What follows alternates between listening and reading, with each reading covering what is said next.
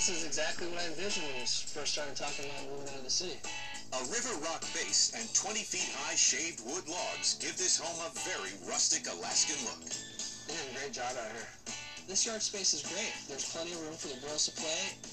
Right out our back door, we can go right into the wilderness.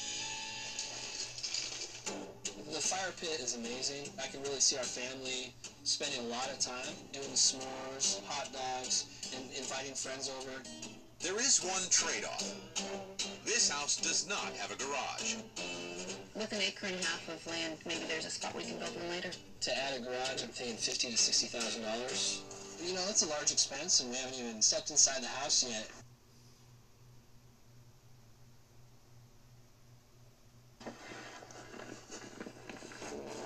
Interesting. They have a lot of wood paneling in here. I mean, there was wood everywhere. A few hundred dollars of sheetrock put over the wood paneling would completely transform the look of the room. We can work with it. The living room is a place that we can play board games as a family, by the fire, you know, just get that Alaska feel. I really like the windows across the front. It lets in a lot of natural light. But this carpet definitely would need to go. You know, the shag carpet just didn't do it for me. What about the wallpaper? How hard is it to take down wallpaper? Well, it depends on how long it's been up there how much glue they used. You might have to go over and help take that down.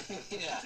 Old wallpaper is one thing, but this kitchen has a split personality. Why do they have two different cabinet types? Well, they also seem to have two different kinds of countertops as well. It looks like they got halfway through a kitchen renovation and uh, decided to keep some of the old cabinets. Well, this is a little strange. I see a lot of renovations being needed, cosmetic improvements, but all in all, I think the space is good. This home features three bedrooms and a bathroom. Wow. This is the master bedroom. It's a little small. I do like the pitch ceiling with the exposed beams. I don't necessarily like the way it looks right now, but I think if we put the sheetrock in here as well and took out the carpet, This feels a little cramped for a master bathroom. is this the only bath upstairs? It is the only bathroom upstairs. Okay. I like it. Yeah, it's a good size. I think this would be big enough for the girls to share. Downstairs, there are more bedrooms. It's just a good sized room. I think the oldest are like this. Wow, Oh, this is unexpected. I thought you said there was only three bedrooms. Well, this is actually not by definition a bedroom. If you were to put in a closet and a window that can be used as a fire escape, this can be called a bedroom, Okay. and that would give you four bedrooms. Wow. The option to turn that downstairs extra room into a fourth bedroom is a very viable option. Oh, Nice. I like it. And the view is beautiful. You know, we're out in the wilderness.